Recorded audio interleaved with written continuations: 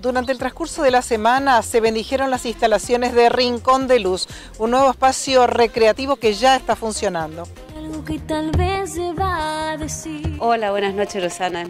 Esta idea surge de, tres personas que trabajamos hace mucho tiempo con niños. Yo soy médica pediatra, terapista intensiva. Carmelú, que nos acompaña en este emprendimiento. Carmelú le decimos con cariño, es kinesióloga.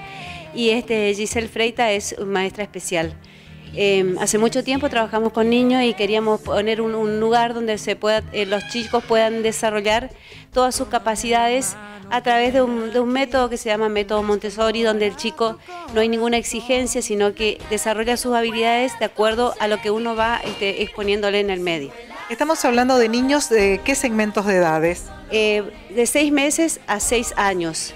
En este lugar este, se reciben estos niños eh, y se reciben niños, algo muy especial, hasta con capacidades diferentes.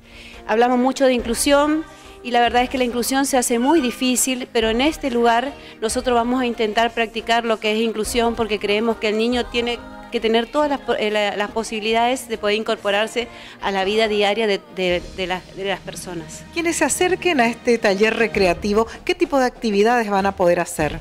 Eh, dentro de este taller vamos a tener todo lo que es yoga, pintura, eh, vamos a enseñarle a bailar, eh, se va a hacer una parte recreativa de juegos didácticos, están todos los juegos este, de encastre, como para que el chico pueda desarrollar manualidades y desarrollar, desarrollar la parte neurológica. En esta noche inaugural, agradecimientos para quién?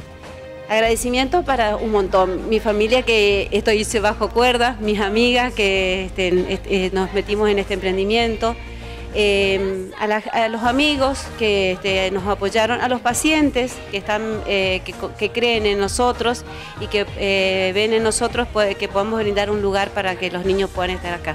¿Por qué venir a Rincón de Luz?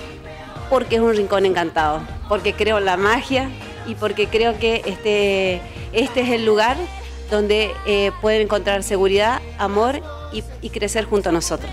Si hemos interesado papá, mamá, los abuelos, ¿dónde están ubicados? Los abuelos están con nosotros, las puertas abiertas están siempre, va a haber un lugar donde va a haber una abuela cuenta cuentos. Entonces, esta puerta está abierta para todos.